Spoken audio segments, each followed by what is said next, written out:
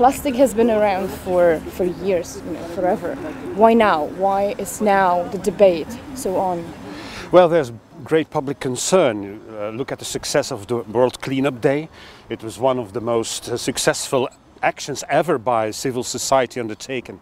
Uh, it shows that there is big public concern and also the Eurobarometer shows that uh, uh, 7 out of 10, 8 out of 10 people are really concerned about plastic pollution. They see these images uh, of the plastic soup in the seas. They see that uh, sea animals, fish and, and sea mammals are being uh, yeah, poisoned by, by all the plastic waste that we just put into the seas and that's why action is needed. We need, well, plastic is a valuable material but we yeah. have to manage it in a, a more responsible and sustainable way. So is there anything we can actually do right now? Is banning plastic straws, which we hear about hear around right now, is it going to solve the situation? Well, it is not about uh, only banning things. Eh? It's, it's an approach, a tailor-made approach. So what have we done? We have looked at what do we actually find on our beaches.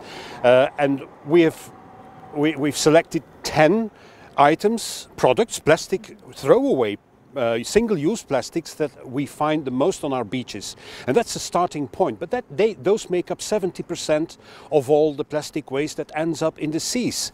So yes, we can change, uh, if, but it, it's a shared responsibility, of course. We have to ban certain things. We have to reduce the use of others.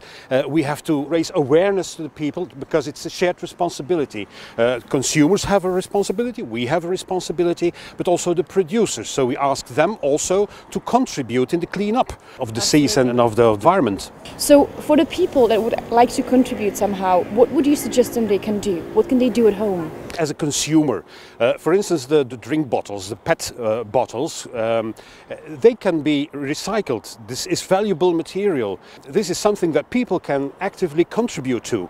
Uh, cigarette butts, when, we were, when I was cleaning up here around the parliament, this is one of the items you find the most.